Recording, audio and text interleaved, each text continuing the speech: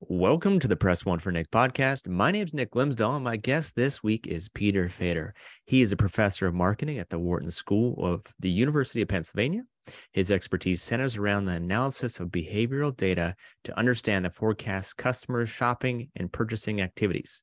He works with firms from a wide range of industries, and he is the author of Customer Centricity, focused on the right customers for strategic advantage, and co author with Sarah Toms of the book Customer Centricity Playbook. Most recently, he co authored Customer Based Audit with Bruce Hardie and Michael Ross, which we'll be talking about today. Peter, welcome back to the Press One for Nick podcast. It's wonderful to talk with you, Nick. Really appreciate the chance to do so. You bet. So, uh, one question I asked you at the very beginning, and I ask every single guest, is what's one thing people might not know about you? Well, uh, I have the world's greatest collection of dollar bills with interesting serial numbers. Okay. Um, so what's I, the most interesting serial number of those interesting serial numbers?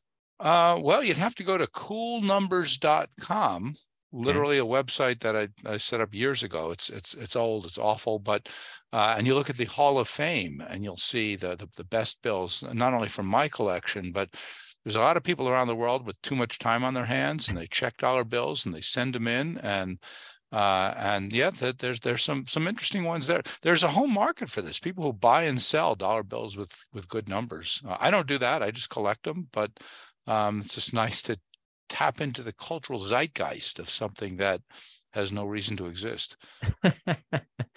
so, if you are interested or you have more time on your hands, then uh, go to go to the website and uh, it sounds sounds very interesting. I'll have to at least check it out too. You really sold the website though this you know this this really awful website that needs updated. It is uh, awful but yeah but i'm thinking and if any of, of the listeners have uh, too much time on their hands mobile app cool ooh. numbers mobile app. That that that's my my new year's resolution my aspiration. Um yeah. Mm. there it is.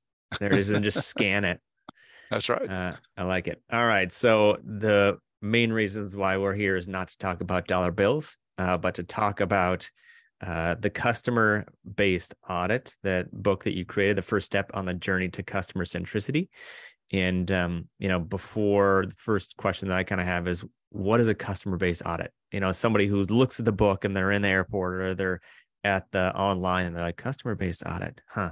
Well, I know what a customer is and I know what an audit is, but maybe give us the synopsis of what a customer based audit is. Uh, sure. Well, if you know what an audit is, then then you're in pretty good shape. It's uh, it's just kind of a just a a, a regular, very standardized, uh, you know, ass- assessment review that that you do. Uh, and uh, you know, on the financial side, we all understand that. Some we often dread that, but it's an important step to take. And if you're doing it right, not not only in terms of the the outcomes, but even the process itself uh, can be really in, insightful and, and, valuable. And the problem is companies don't do that with their customer base. They they tend not to analyze the customers systematically if they analyze them at all. They're busy looking at the products and they're thinking about the stores and maybe the employees and all sorts of other things why not be as systematic, as kind of regular and standardized about uh, about the customer base?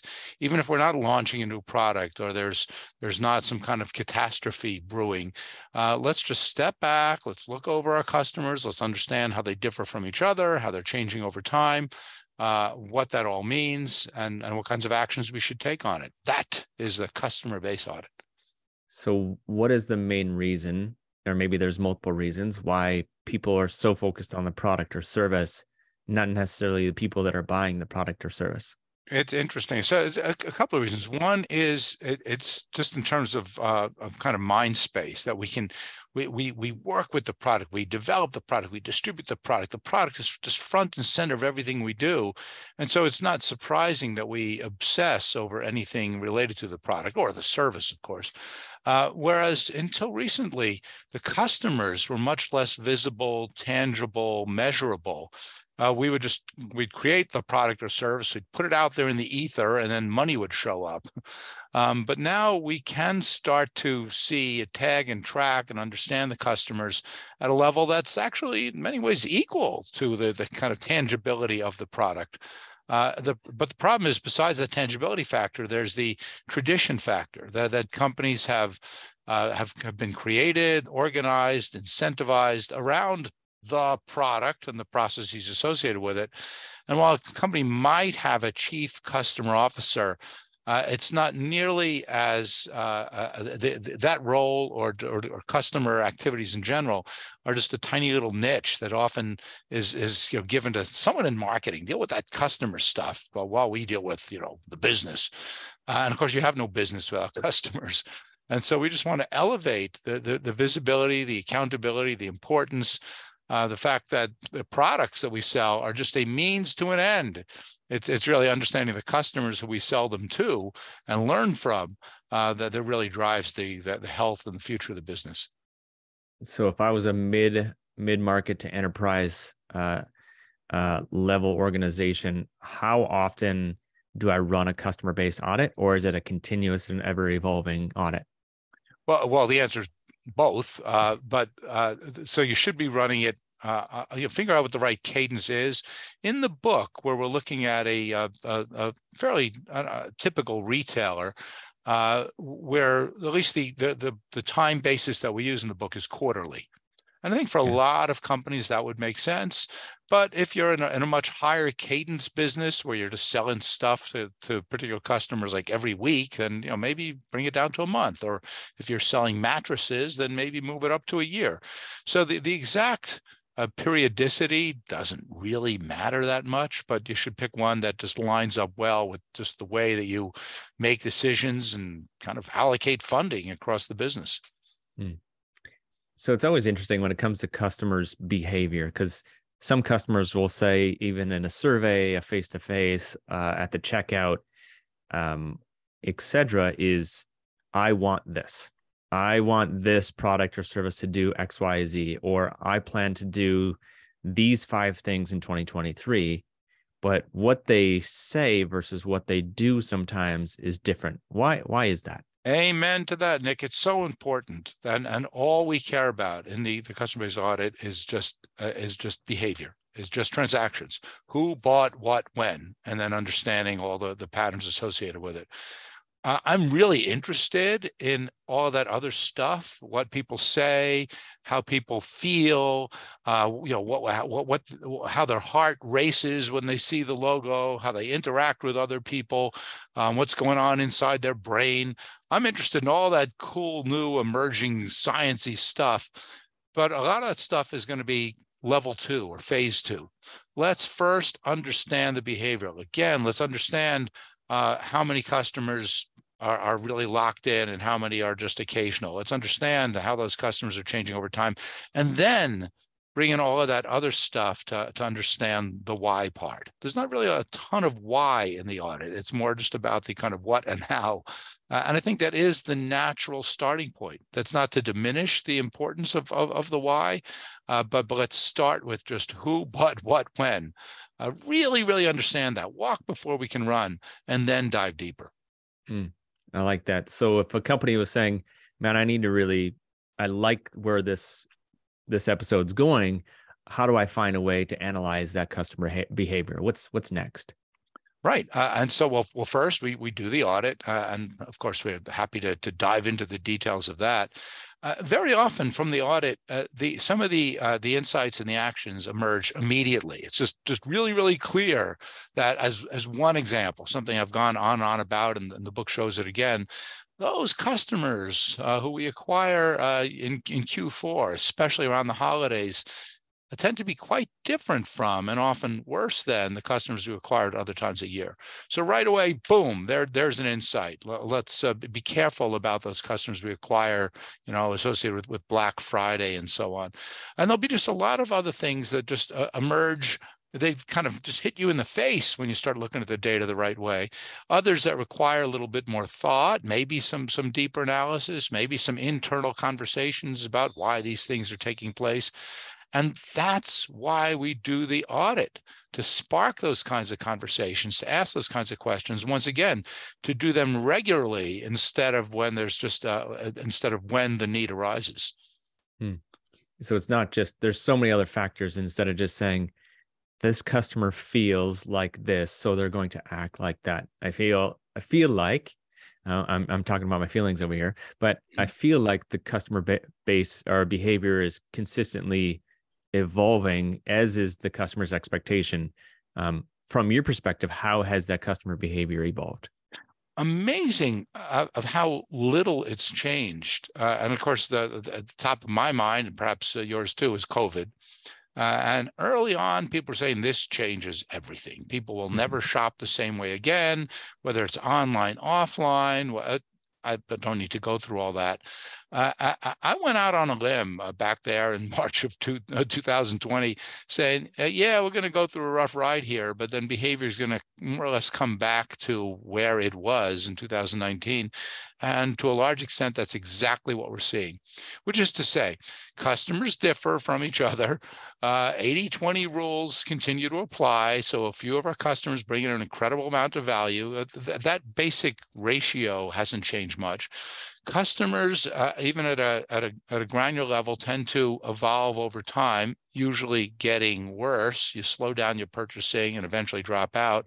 So a lot of the, the kind of generic patterns that I'd been observing for, for decades before COVID, uh, we're, we're right back to them. Uh, and again, uh, rather than just taking my word for it, try it out yourself do a customer base audit and you'll see that those cohorts of customers that you've been acquiring recently are fairly similar to the ones you were acquiring, uh, you know, two three years ago, uh, and that that that tells you a lot about what you need to to do, both in terms of customer behavior, but as well as supply chain and and and hiring and training. And uh, you you don't need to to change the playbook nearly as much as you might think.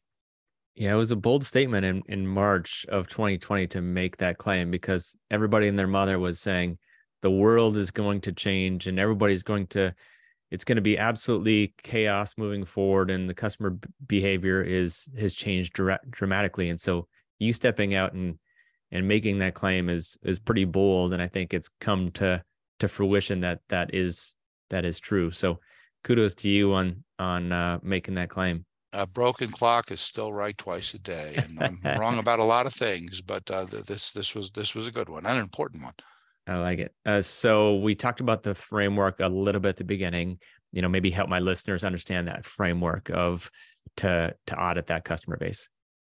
So the a lot of the analyses that we propose in the book aren't new. There's actually very little that's that's new in the book outside of the framework that we use to connect these analyses together.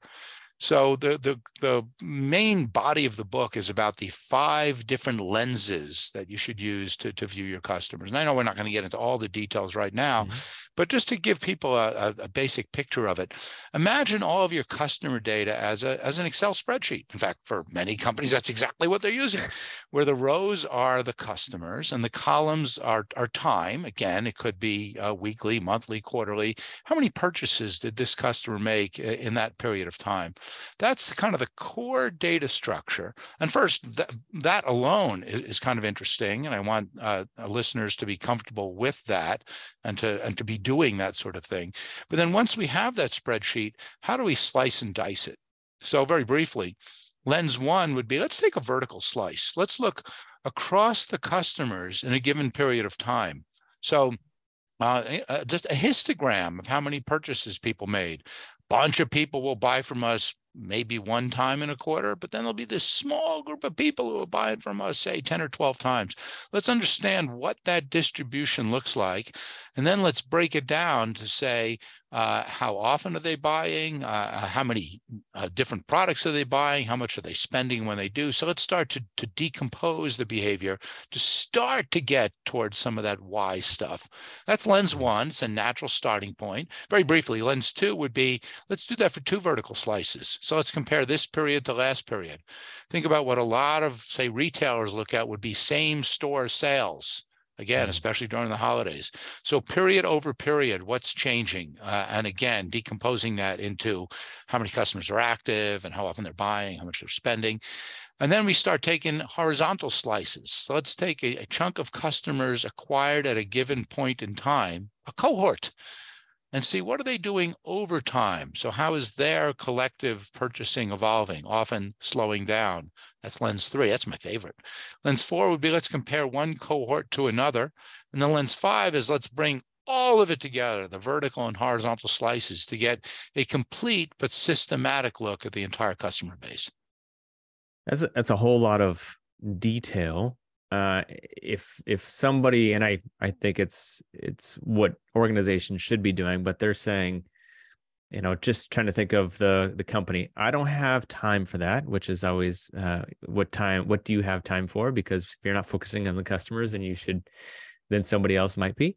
Um, but what is there a top one that you would want to start with, or is number one the first one that you should be aligning with? Yeah, so it depends on the company. It depends on their own uh, uh data and analytic sophistication. So, for, so for for newbies, uh, indeed, lens one would make sense. Let's just take that vertical slice. Let's just look at that histogram and say, and, and, and think about the 80 20 rule. Try to actually, mm-hmm. instead of just talking about it, to ask yourself, is purchasing as concentrated as 80-20 or is it maybe a little bit more evenly spread out? So so very very basic uh, and and again there's a lot of companies even some sophisticated companies don't know the answer to that question. Uh, as i said before my own personal favorite would be lens 3 the cohort. Let's look at a group of customers acquired a given slice in time. Uh, let's see how they're evolving. And this is really important because i've said it a couple of times now group of customers who we acquired, let's say in Q1 2018, they are going to collectively tend to slow down. That some of them are going to drop out. They're going to uh, buy from us less frequently. They're going to spend a little bit less when they do. And for a lot of companies, this is a very unpleasant surprise because they they start taking it personally. What are we doing wrong? How have we failed our customers? You know, uh, and it's important to understand that pattern. That that's it's it's kind of a law of gravity in a way. You should come to expect it. And if you're not seeing the slowdown, that's pretty remarkable. You're doing something super well. So I think a, a lot of the problems that companies are trying to solve aren't problems at all. That they're just kind of laws of nature but they just haven't been exposed to them yet. And I think the data is there. It's just doing the right, asking the right questions and doing the right the audit to identify what are the things that they're doing right or what are the customers that we want to keep and or grow and ones that are maybe not not profitable or the ones that we want to focus on or or keep at all. So um, let me say two things to that, Nick. Mm-hmm. So first of all, everything you just said there, that's book number one. Mm-hmm. That's customer centricity. Focus on the right customers for strategic advantage, which you and I have discussed before.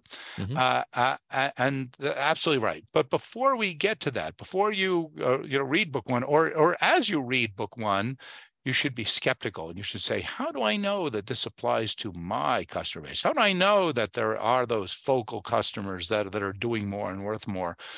That's why, you, you said it before, the subtitle of the new book is The First Step on the Journey to Customer Centricity. So let's just go into it, just, just not even thinking about the, the, the so what and the why and so on. Let's just, just look at the data and just see what the patterns are mm. uh, and and then of course start to think about it uh, and and it can be quite remarkable to do that. Now as you said people don't want to. It, it's going to take some work. It's going to take not only analytical skills actually the analyses are pretty simple but but organizing the data and just having the discipline to make the time to do it uh, and and ironically that's not hard but it's but companies just push it off and that takes us back to the idea of the audit. Look, no one would do their traditional financial audit if they didn't have to. Now, now, no, uh, you know, regulatory body is going to come in and hold a gun to your head and say, you know, you must do the customer base audit. Kind of wish they would, yeah. uh, but it's a matter of discipline. It's a matter of the C-level people saying we need to carve out time to do this. We need to have the resources. We we need to do it regularly, and then to do it in not just in a check the box way, but what are we going to learn from it? And, and in many ways, that's the, that's the hardest part of all is, is making the time and having the discipline.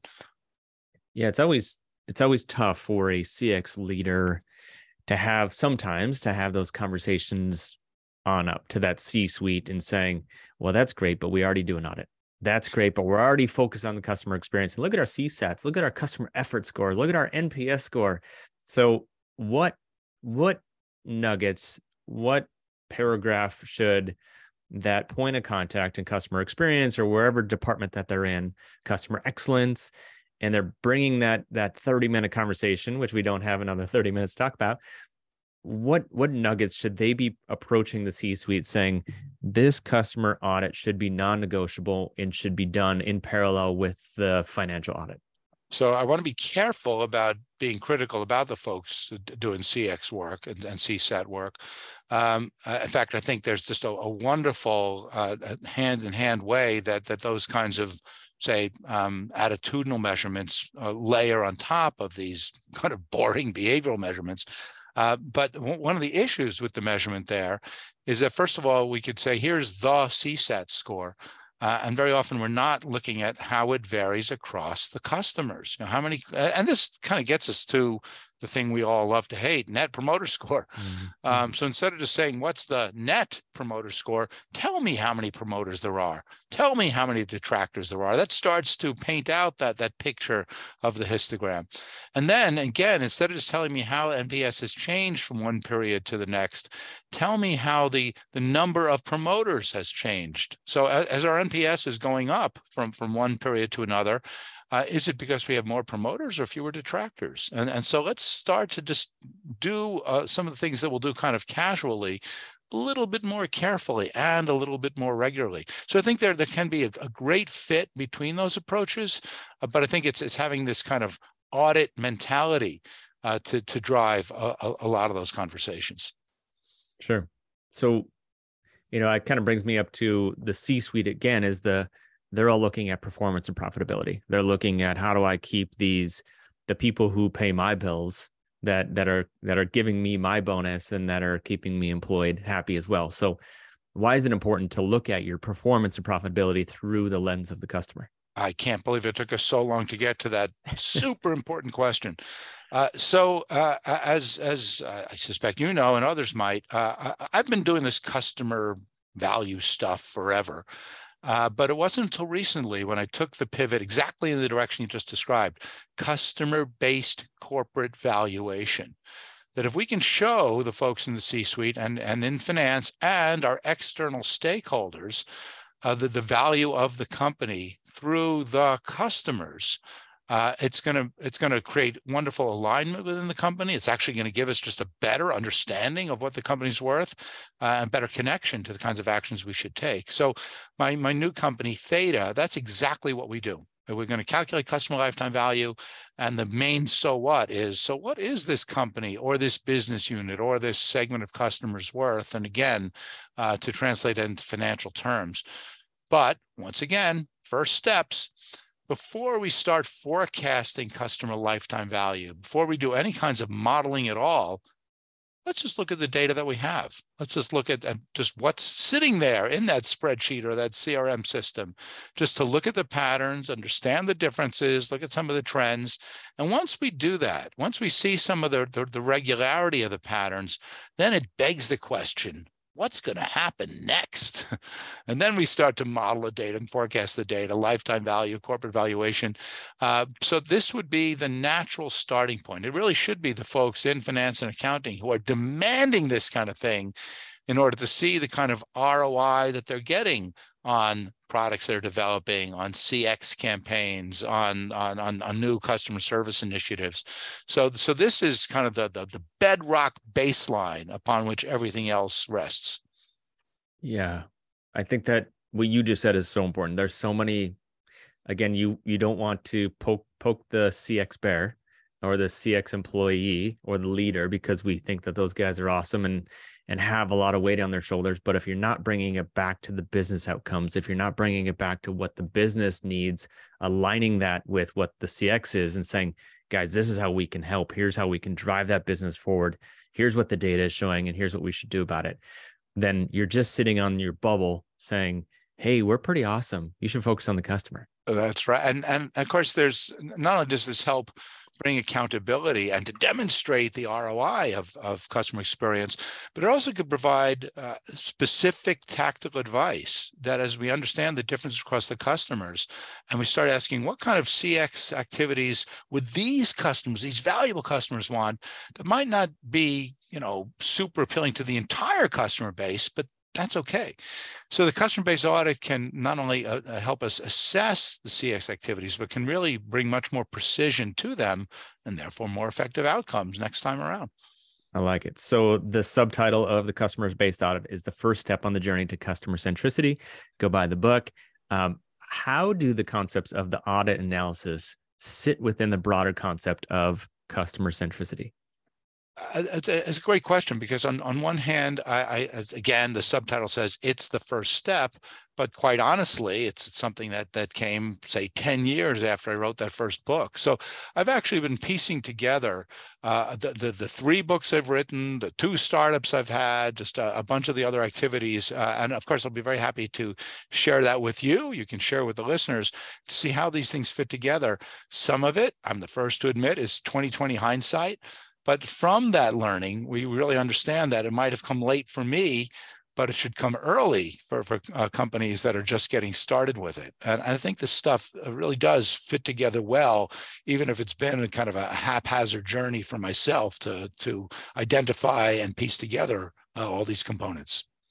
So, speaking of getting started, what's the best way for companies to get started and get their house in order? Before we even dive into the lenses, before we even think about how we slice and dice that, that spreadsheet, first we have to put that spreadsheet together. Uh, and so, one thing we haven't discussed, in fact, companies often don't discuss at all, is how do we define the customer? So, the rows of our spreadsheet are they individuals? Are they households uh, in a B2B setting? Is it the procurement officer or is it you know the entire company? So having a discussion about who is the customer. Uh, and we actually uh, devote quite a, a, bit of attention to that in the front end of the book because we, we have to figure that out first before we start uh, pulling all this data together. And then likewise, what's going on on the columns? Is it purely purchasing? Is it maybe visits to the website? Is it referrals? I mean, there's lots of other value generating activities that, that uh, companies and customers are engaged in. And which of those things can we measure? Which of those things should we be tracking and auditing? So there's actually a lot of fundamental questions. And I hate to say it, there aren't easy answers to them, but we need to have that conversation. So as we start to do the audit, we're going to at least agree with the, the basis of, of, of how we assemble the data going into the audit. Peter, what do you mean? We got to build the foundation before we have to build the house. I just don't understand. I think you should add windows first and then the foundation. You know, and, and I have to admit, I'm, I'm as guilty as anyone on this because I'll often use loose definitions of who the customer is. Uh, I'll often, from, from one uh, a project to another, I'll use something that might even be a little bit contradictory. Uh, and so just having that that that simple conversation about who is the customer. And again, I, I hope readers are interested. This is actually the, the, very start of the book where we lay out a scenario of, of someone's like uh, in an airport. And anyway, it, it, I'm not going to drag you through the whole thing, but there's a lot of things that that that you as a potential customer are doing. A lot of products and services that you're interacting with, and the producers of those products and services see you as a customer for each and every one of them. But in your mind, you actually don't have a relationship. Yeah, I, I gave you money for that backpack, you know, five ten years ago doesn't mean I'm a customer of yours right now. You know, we had a relationship, it's over, even though I'm still using your backpack. Uh, I, I, hope that, that your listeners can imagine that that in, uh, uh, in many, many cases, when they think that there's a relationship taking place, there might not be. And once again, don't take it personally, um, but but do have good clarity on who is a customer, who isn't, and and and what kinds of measurements we should have around them. I like it. So, what advice do you have for my listeners to go from audit to action? Well, of course, that is the final chapter of the book. Dun, dun, uh, dun. Uh, and, uh, and, I have to give just a tremendous amount of credit to, uh, well, to both of my co-authors, Bruce Hardie, professor at London Business School, who he and I have been you know, kind of sharing a brain for goodness gracious, uh, 30 years now. But our third co-author, Michael Ross, he's a practitioner, uh, co-founded and, and, and runs a kind of a, a, a, data analytics firm over in the UK. He is Mr. Audit to Action. He's actually been doing a lot of this stuff for years. Uh, and it wasn't until recently that we, again, formalized and organized uh, these ideas of, of, the audit. And again, the, the guidance to different kinds of actions. Uh, and, and, again, we could talk for days about it. If you think about the uh, at the broadest level, what those actions would be: customer acquisition, customer retention, customer development. The different aspects of the audit will be well suited for each of those activities. And then we could take that deeper dive, like when it comes to retention, which customers should we be focusing on? Um, what kinds of outreach will they be most responsive to? Um, what would be the, the ROI on those retention efforts? So there really is a lot to say. And I'll say it again, none of these ideas are new but using the audit to kind of guide and gauge those activities, to prioritize them, to, to see the, the, the value that we're getting from each one of them, to help figure out when we have this pile of money to spend next year, how we should be allocating it across these activities. Uh, that's where the, the audit and the audit to action connection can be extremely valuable. Got it. I like it. So uh, at the very end, I ask every single guest, um, typically, if you could leave a note to all customer service, customer experience professionals, what would it say? I'm going to change it just a little bit. And because you kind of mentioned being the guide, you know, when it comes to customer, uh, the customer base audit, let's say somebody f- finally reads your book uh, and they're like, this is great. What do I do next? What, what advice to that do you have to guide them to that next step? Well, it, it, depends who we're talking to. So if, if it's the if it's a high level person who's overseeing the audit, uh, then it's going to be well, you know, do the audit, do it carefully, do it thoughtfully, do it regularly, uh, and then spend a lot of time looking over the results and and thinking about how it's going to impact acquisition, retention, development, uh, what kinds of statements you can share with your stakeholders, maybe even starting to put some of these customer metrics in your in, in the in the uh, say uh, auditable statements that that uh, in a 10Q or something like that. Um, so, uh, so at that level, uh, it, it's it's all about you know thinking about the audit strategically. Mm-hmm. Uh, at at uh, other parts of the organization, and again, the way you asked the question is that frontline customer service professional. Uh, I think it's it's a recognition that not all customers are created equal. It's a recognition that a lot of the changes that we're going to see in customers are for reasons that are out of your control, uh, and you can't necessarily change that.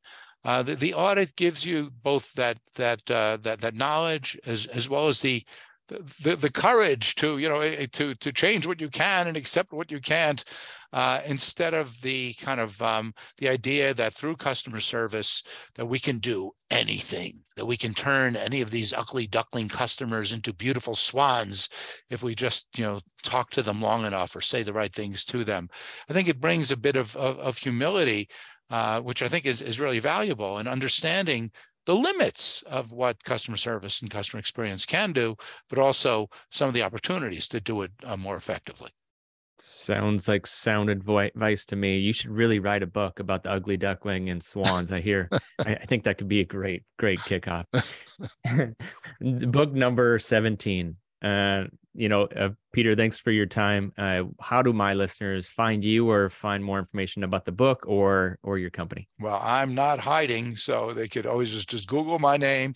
Uh, but I really do encourage folks to to look at, at, at Theta. And I'm not doing this as, as a sales pitch for it, but just there's a lot of really great case studies and just advice about calculating customer lifetime value, fitting it in with with a, a broader sets of analytical activities, uh, and and the idea of starting with finance, you know, getting the CFO on board and pushing this kind of audit thing uh, is, a, is, is, a great way to develop that kind of discipline to make sure that it gets done. Uh, and so making sure that they're, they're going to be partners of yours and not just uh, an impediment, as all too often we see that from our marketing world. Unfortunately, that is true. So, to all my listeners, I will put a link in the show notes. But the customer base audit, the first step on the journey to customer centricity, buy the book uh, start creeping on Peter here on LinkedIn and social media and go check out uh, his business as well. Peter, thanks for your time and uh, wish you nothing but success. And Nick, I really appreciate your excellent questions uh, and just everything you're doing to spread the gospel about this stuff. I think that that everybody, especially your listeners, really benefit from it. It's my pleasure. Thanks again. Bye now.